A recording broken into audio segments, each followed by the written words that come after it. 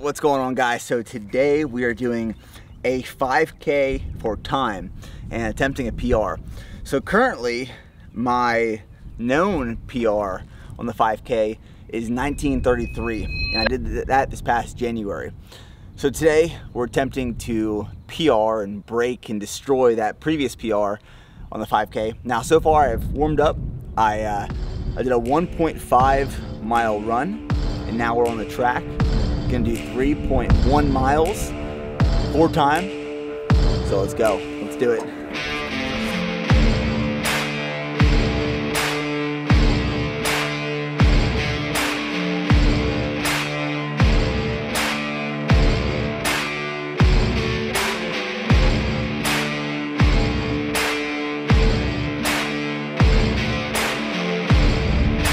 All right, three, two, one.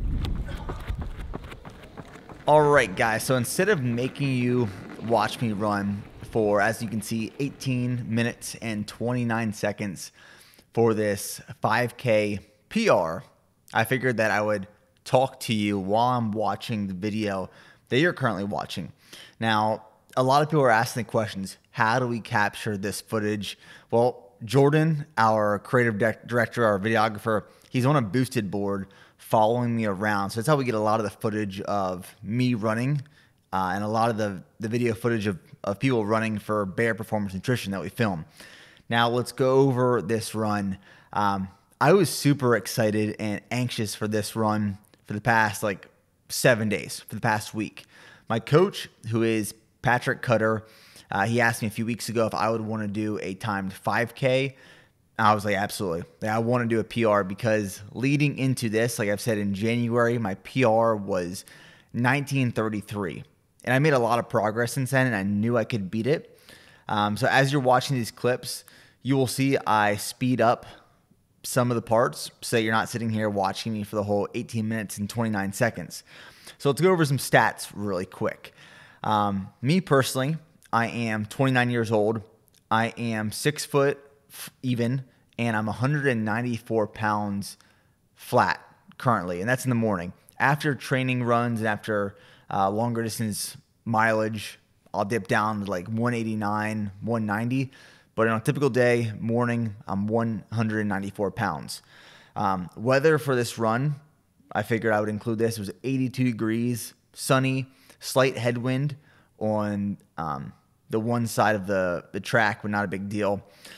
Now, the 5K, obviously, as you've seen in the title, it was a PR. I did 18 minutes and 29 seconds. And that's an average mile of 5 minutes 58 seconds. Now, my current PR on a mile is 515.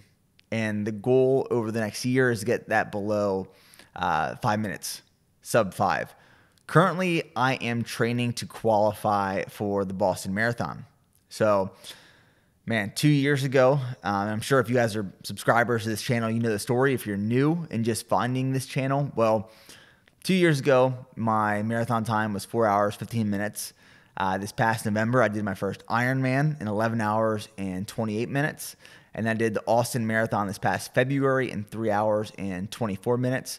And I'm just working to get sub three hours with my coach, Patrick Cutter, uh, putting in the mileage, working on the speed work, doing a lot of slow, easy runs, but working to accomplish that Boston qualifier of sub three. Um, my cadence, my average cadence for this run, which is just the number of times your feet are hitting the ground in a minute, was 171. Average heart rate, uh, based off my Garmin, was 151. My current VO2 max, 57. These are just questions I get all the time. Uh, my fastest mile on this run was five minutes and 38 seconds. One of my biggest problems, one of my biggest weaknesses in in running in terms of races and I don't even want to say shorter distances, but timed races is pacing. And something me and my coach are working on to improve on. Uh, my last marathon, I went on the gates hard and heavy, and that hit me and and really was it was a weakness. It, it hurt me for that race. This first um, lap of this run today. So I had my fiance Steph. She was um, she was pacing me, not pacing me, but timing me. So she was giving my splits every 400. And I was trying to maintain one minute and 30 seconds or uh, a little bit slower. My first 400 meter on this run today was like 115. And I knew I was, I went out that first, you know, that first 400 a little too fast. So I was trying to slow it down a little bit just to pace myself because, you know, the 5K is an interesting race.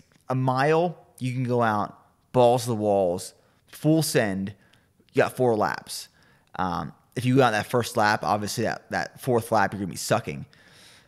But you have to really take in consideration pacing for a 5K, especially on a track, just mentally, uh, you know, doing doing the, the 12 plus laps you're to be doing on the track. Um, pacing was something I was really trying to get my head wrapped around. I did a really good job because every time I was coming around the track for that 400 after that initial one, uh, I was hearing like 124, 126, 127, 128. So I was typically, in the most part, um, within like six to seven seconds, probably each 400 meter repeat. Now, I know the question I'm going to get, and I get all the time, is what shoes am I wearing and what watch am I using? Um, for race specific, it's like today I was wearing the Nike Vaporfly Next Percent. Um, they have the carbon base plate, and I really enjoy those. Like I love those. Uh, and then you'll see later in this video, I also had six miles to run after this 5K. Uh, so I, I, took off the the Nike Next Percent Vaporflies, and I threw on just a pair of Hoka Rincons for for some mileage runs. And um, and I felt good. Like overall in today's run, I felt really good. I was super happy with 18:29. That's that's a ballpark of what I was shooting for ballpark of what my coach was kind of estimating I would I would end at. Um, something else I want to talk about nutrition prior to this run. Obviously, this is not like a, a super long endurance race, right? So, like Ironman, triathlon, like nutrition is super important. Marathon, nutrition is super important. Nutrition may have a slight um, advantage or or a slight um, change in, in pace and, and time for a run like this. But I feel like I should talk about it because I take nutrition and hydration uh, in terms of you know liquid consumption and electrolytes very very serious. Um, and I get this question all the time, like, what do you eat before your run? So before this run specifically, I ate two hours before. I had half a cup of oatmeal. I had 61 grams of pure pumpkin puree, a scoop and a half of whey protein, uh, and I just made like proats. So it's like you make your oatmeal, you mix in the the pure pumpkin puree, the whey protein powder, mix all that up, ate that with a banana. Um, and then I also had like 15 minutes before this run uh, our endurance supplement with Bare Performance Nutrition, G1M Sport, which comes out uh, like next month. And that was 20 grams of carbs in the form of cluster dextrin, 350 milligrams of sodium full electrolyte panel. So I'll let you guys watch this last minute of this run. This last minute, I was uh, I was sucking pretty hard. I was going all out, but uh, it, was a smoke fest. It felt really good. I was happy with the pace. And hey, any opportunity you get to kick your own ass, it's a good day. Ah, ah, ah.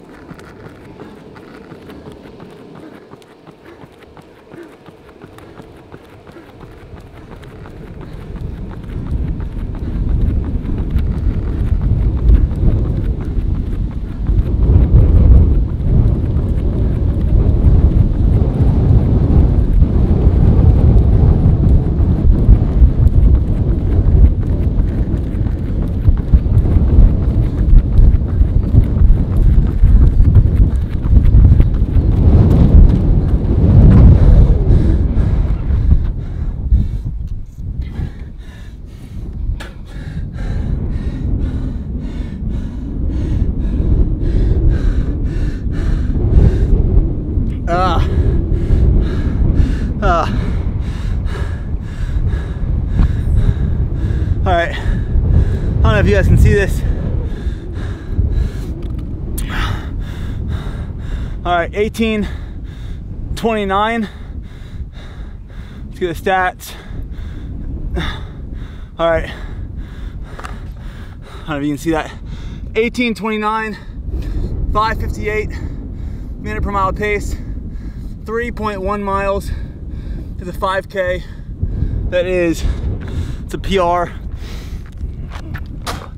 by over a minute. Went from 1933 in January. Today is April, what's today? April 19th. April 19th. And that run was a 1829. Woo!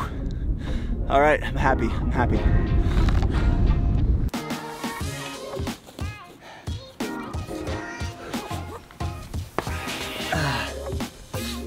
All right, guys, so after after the 5K, came back to the house, and I had a six mile cool down to do.